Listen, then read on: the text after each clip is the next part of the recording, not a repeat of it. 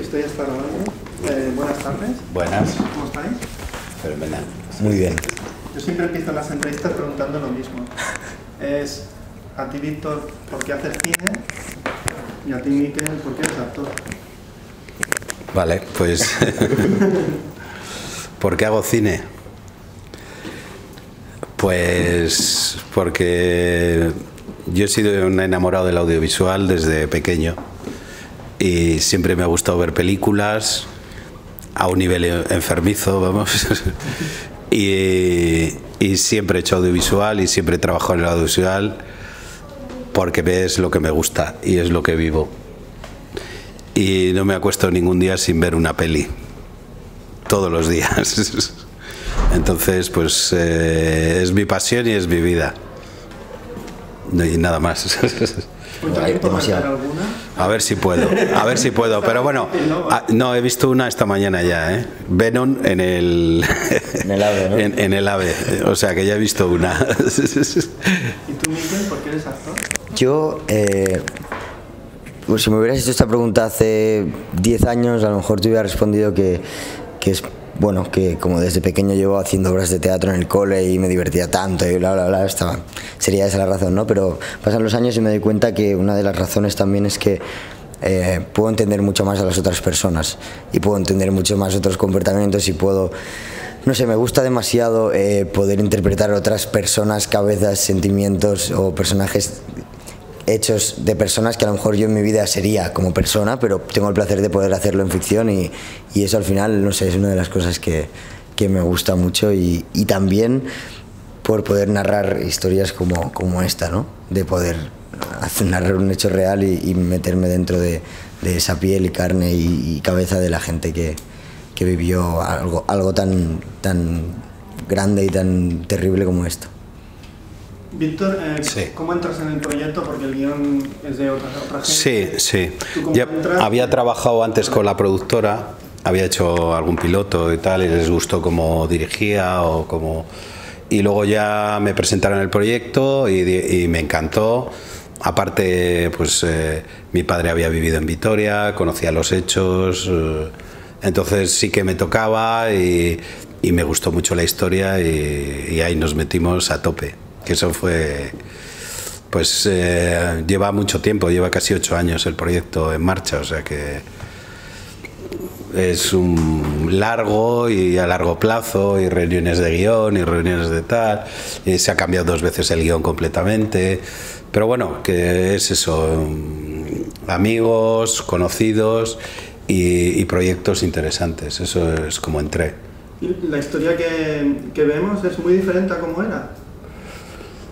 Em, no es muy diferente, no es muy diferente, pero sí que no eh, varía, variaron varias cosas, se reescribió, bueno, y de esta versión, pues yo creo que había seis o siete. De la última versión, de la anterior también hubo otras cuantas, pero bueno, que si- siempre se va se va reescribiendo un poco todo todo el guion y de hecho a mitad de la peli también cambiamos cosas del final, o sea que es un proyecto que está siempre vivo, siempre vivo. Miquel, eh, si, tuviéramos, si tuvieras que hablarme a mí, yo imagínate que no he visto la película y tuvieras que hablarme de este, de este chaval que interpretas, ¿quién es? ¿De dónde viene? ¿Por qué se mete en ese fregado con lo joven que es? Yo creo porque lo siente, ¿no? Y porque tiene unos ideales y cosa que en esa época había mucha gente que, que defendía sus propios ideales, eh, que aún hay gente que los defiende, pero creo que se ha perdido no tanto como en ese momento, ¿no? Y, y al final, eh, bueno, yo creo que es un, un revolucionario que, que tiene muy claro lo que quiere, tiene apoyo por todos lados, como Javier, como la empresa de Rufino, eh, y al final... eh, yo creo que lo bonito es cómo lleva él eh, esa revolución propia y conjunta con el pueblo y cómo lleva la relación con Begoña y cómo cambia, tú que has visto la película, cómo cambian todos los personajes de principio a fin y cada relación entre ellos, ¿no? Yo creo que es un viaje súper bonito y que creo que, que debía explicarse. Y también, no, y también desde nuestro punto de vista en el 76 la gente empezaba con 14 años en una empresa, entonces un chico que tenía 19, 20 años era un señor mayor, ¿no? Era un, y, sí, o sea, estabas a punto de casarte o tal, entonces no lo podemos mirar desde esta perspectiva, sino de, de la época que realmente una persona de 19 años era adulta y tenía sus convicciones y, y, estamos hablando que las convicciones del 70 son diferentes de las convicciones del 2019, ¿no? O del siglo XIX, que antes eran anarquistas y por la anarquía se pegaba un bombazo y tal, y, ellos mismos, ¿no? Entonces, sí, pues eso, que el nivel de implicación cada época es, es diferente y va mutando desde pues principios de siglo que era de una manera y en los 70 se vivía de otra manera, que yo creo que eso intentamos también expresarlo en la película, cómo se vivía en los 70. Y, y eso, un chico de 19 años para nosotros ahora es, es un pipiolo, pero aquella época ya era un señor. Y tenía su sueldo y, y si vivía con su chica, pues se casaban con 20 años, porque era lo normal casarse con 19, 20.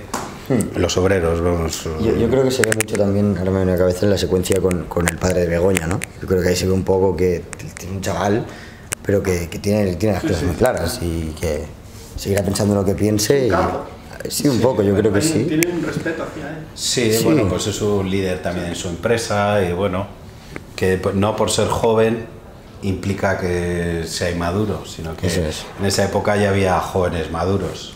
Hay una cosa muy interesante, yo creo que hace la película muy profunda y muy honesta, en el sentido de que hay conflictos constantemente. Hay conflictos generacionales dentro de la familia, en el matrimonio, en la manera de llevar la lucha. sí. En la, en, la, historia de amor que tienen ellos. Sí, hay conflictos y... Conflictos de clase entre la mujer que, que, que que, les ayuda, para, que trabaja para ellos y tal. O sea, está todo lleno de conflictos. O sea, no, es una película, digamos, con una sola mirada, hay múltiples miradas y múltiples capas. Y que todo es eh, como vas dando pinceladas de lo que era toda la situación que había laboral, de trabajo, de mi marido está en esta empresa, el otro tal, le han detenido, no sé por qué. O sea, siempre estás dando pequeños toques de lo que era la situación que había. Encima hay también conflictos desde el ámbito de la patronal, desde el ámbito ministerial, del gobierno. Sí. O sea, es que...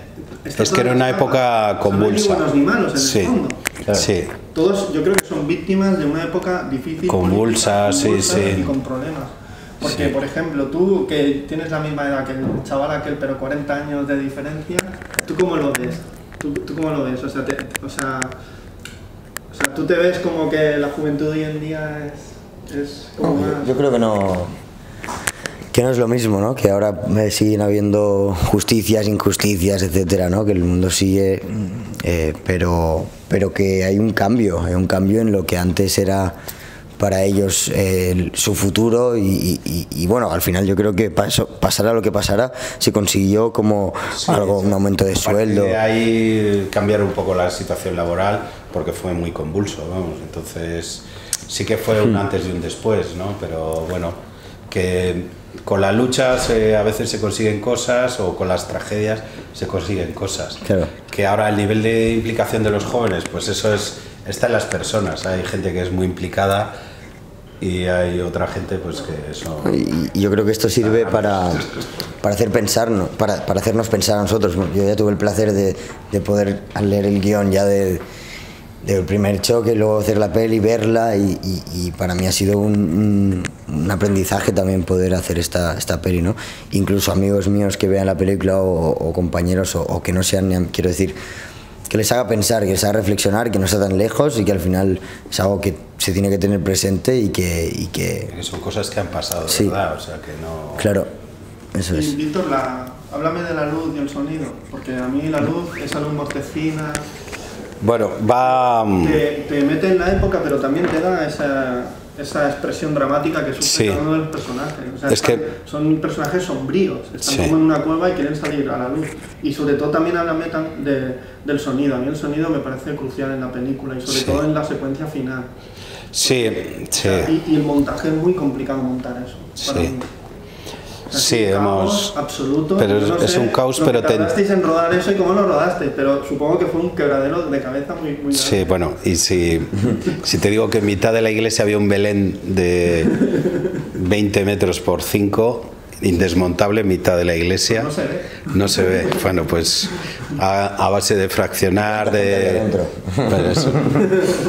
a, base de fraccionar mucho, de planificar muy bien, de...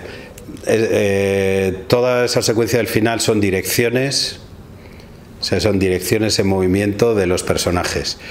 Y, siempre, y si te das cuenta pasan muchas cosas, hay muchos frentes, pero siempre sabes dónde están y hacia dónde van.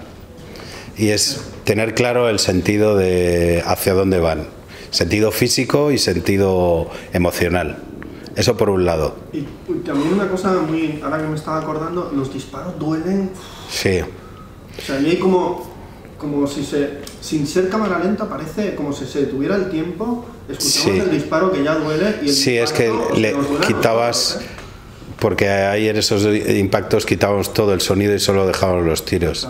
Entonces el trabajo de sonido es también muy, muy, muy bestia. es como... Eh, por ejemplo, en la última peli del Quijote de Terry Gilliam, que fui a una clase magistral con Teresa Font, explicaba cómo entraba el sonido y cómo quitaban el mm. sonido ambiente para crear... Para crear puntos de dramatismo, sí. Sí que está empleado todos esos... Y luego también lo que queríamos integrar era el, el Super 8 ficcionado, que hemos ficcionado bastante, con el real entonces, para intentar integrarlo todo, siempre tienes que empezar dando pinceladas desde el principio para que luego te vayas creyéndote el lenguaje, ¿no? Te vas creyendo el lenguaje y al final te puedo meter cualquier cosa de superhecho que te la vas a creer. Entonces, eso por un lado. Porque hay ficcionada, hay ficción como en Super 8, ¿no? Sí. Vale. Hay un Super 8 real hay Super 8 real y hay Super 8 ficcionado. las voces reales del final. Sí, las voces son, son reales.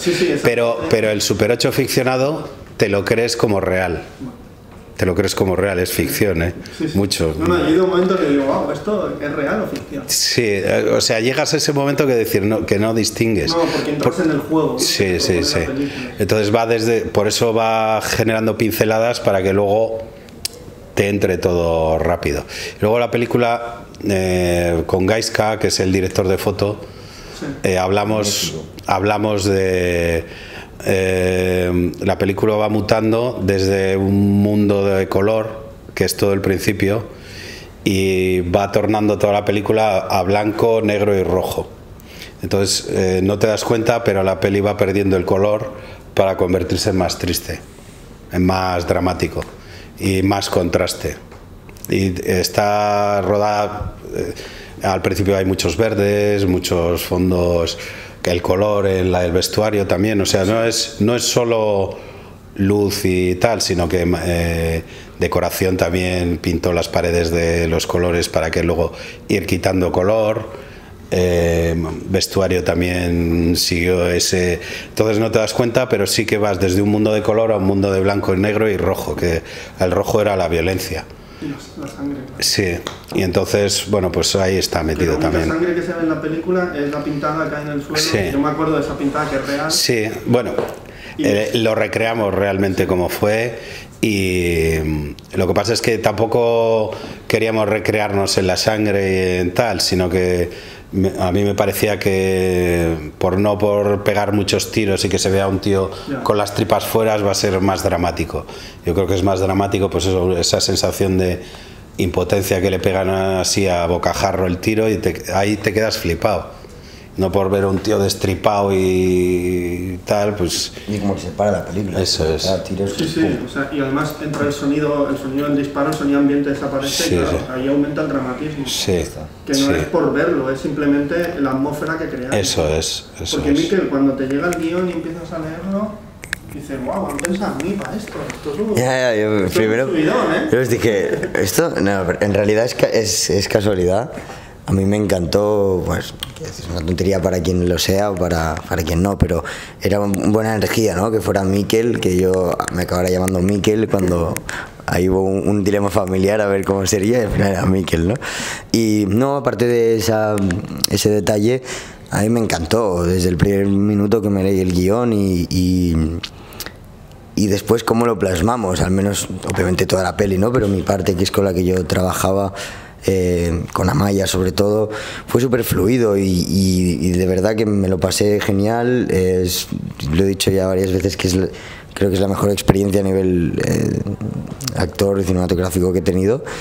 Y, y que estoy súper emocionado de poder haber estado en esta peli, contar lo que estamos contando y entenderme también con, con eh, Mr. Víctor, que me dio una libertad increíble y, lo pasamos de genial rodando esto. Y luego también, eh, por ejemplo, de lo de las manifestaciones, intentar hacerlas creíbles y demás, eh, era un punto muy importante. O sea, o sea, lo teníamos muy claro que teníamos que hacerlo creíble ya está, eso es... El casting a mí me parece muy, muy interesante porque son personajes, son actores que no son muy conocidos, algunos, pero ¿por qué piensas en ellos? Y sobre todo, ¿por qué piensas en Mikkel?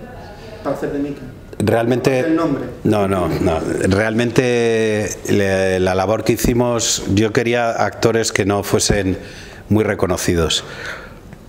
Eh, digamos que están eh, actores y me, me ofrecieron más, no voy a decir quién, y decía, no quiero que sean muy conocidos, yo quiero que sean buenos actores. O sea, me da igual, pero buenos. Y entonces ese creo que fue el objetivo y prefería cuanto más desconocidos mejor para mí porque eso le, genera una verosimilitud que estando con un actor que sabes que es de, de tal comedia, ta, ta, ta, ya te saca. Entonces, si es alguien que no sueles ver, pues entras mejor en el juego.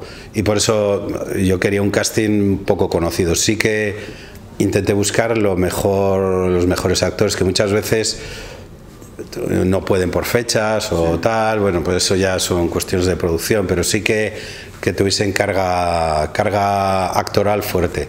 Y yo creo que se nota en la peli que, que está.